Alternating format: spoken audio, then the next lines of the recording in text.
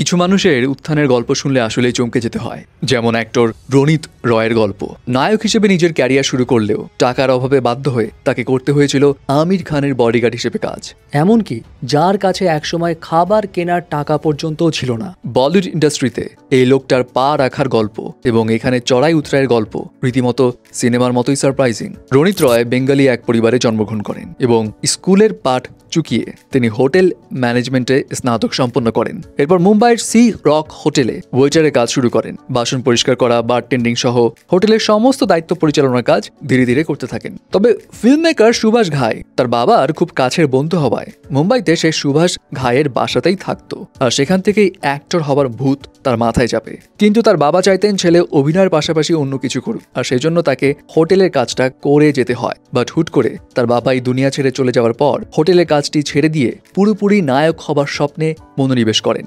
প্রথমে তিনি Subhash ঘায়ের assistant director হিসেবে কাজ শুরু করেছিলেন, কিন্তু সুভাষ ঘায়ের সঙ্গে তার মনোমালিন্য হলে সেটা ছেড়ে দেন তিনি এবং একটা অ্যাডভার্টাইজমেন্ট কোম্পানিতে কাজ শুরু করেন। সেখানে মডেলিং হিসেবে নিজের ক্যারিয়ার নতুন করে শুরু করেন। এরপর উনিশশো বিরানব্বই সালে জান তেরে নাম এই ফিল্ম দিয়ে বলিউডে ডেবু করেন। প্রথম মুভি দিয়ে একদম বাজিমাত। সুপার ডুপার এই হিট মুভি দিয়ে তিনি ভেবেছিলেন তিনি হয়তো সুপারস্টার হয়ে যাবেন। গাড়ি, বাড়ি সব কিনে লাক্সারিয়াস লাইফ লিড করবেন। কিন্তু তার ভাগ্যে লেখা ছিল অন্যরকম এক কষ্টের কাহিনী।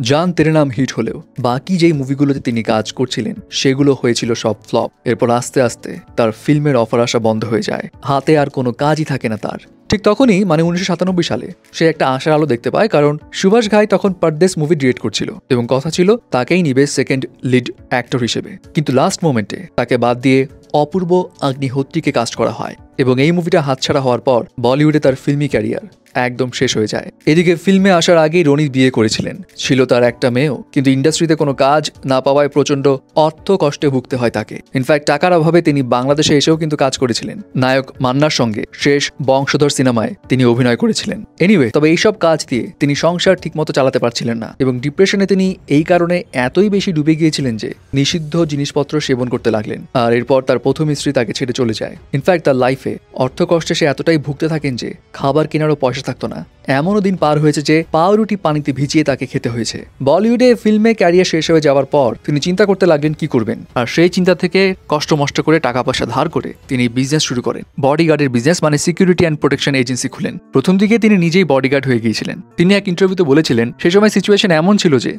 যারা তার কম্পিটিটর ছিল, যারা লাইনে দাঁড়িয়ে তার অটোগ্রাফ নিত, তাদেরকেই তার নিরাপত্তা দিতে হচ্ছিল। আমির খানের দুই বছর ধরে তিনি নিজেই বডিগার্ডের দায়িত্ব পালন করেছিলেন। এছাড়া সালমান খান, অমিতাভ বচ্চন, মিঠুন চক্রবর্তী, শাহরুখ খান এইসব বড় বড় স্টাররাও তার কোম্পানি থেকে বডিগার্ড নিয়েছিল। তবে অ্যাক্টিং ক্যারিয়ারে তার টার্নিং পয়েন্টটা চলে আসে একতা কাপুরের কারণে। একতা কাপুর তাকে আবার অ্যাক্টিংয়ে ফিরিয়ে আনেন, তবে সেটা বড় পর্দায় নয়, ছোট পর্দায় সিরিয়াল কাসাউটি জিন্দেগিকে এই সিরিয়ালে অভিনয়ের মধ্য দিয়ে। এরপর একের পর এক তিনি অনেকগুলো সিরিয়ালে কাজ করতে থাকেন। আর দু হাজার দশ সালে সনি টিভির popular courtroom drama KD Pathak এই চরিত্রে অভিনয়ের পর তিনি ব্যাপক সাড়া ফেলে দেন। ধীরে ধীরে তিনি একের পর এক মুভির কাজের অফারও পান। Student of the Year two States Boss Ugly Shamshera Liger Shehzada সহ অনেক মুভিতে কাজ করেছেন। আর তার বিষয়ে আপনি আরেকটি ইনফরমেশন জানলে অবাক হবেন। হলিউডের জিরো ডার্ক থার্টি এই সিনেমায় তিনি কাজের অফার পেয়েছিলেন। এমনকি বিনা অডিশনে তাকে নেওয়ার ইচ্ছা ছিল ফিল্ম মেকার্সের কিন্তু স্টুডেন্ট অফ দ্য ইয়ার এই সিনেমার শুটিং এর জন্য তিনি কাজ করতে পারেননি। কারণ জোহারকে রিকোয়েস্ট করেও তিনি শুটিং পিছাতে পারেননি। আর এই কারণে তার হলিউডে সেই মুভিটাও করা হয়নি। পার্সোনাল লাইফে রনিত দু সালে আবার বিয়ে করেন অ্যাক্ট্রেস এবং মডেল নীলাম সিংকে বর্তমানে এই হ্যাপি কাপলসের ঘরে রয়েছে এক ছেলে এবং এক মেয়ে। যাই হোক রণিত রয় আজ নানা ঘাত প্রতিঘাত পেরিয়ে সাফল্যের চূড়ায় পৌঁছে গিয়েছেন। বারবার ভেঙে পড়ে আবার নতুনভাবে সবকিছু শুরু করেছিলেন। আর তার লাইফের এই স্ট্রাগল স্টোরিটাই অনেকের জন্য ইন্সপায়ারিংও হতে পারে।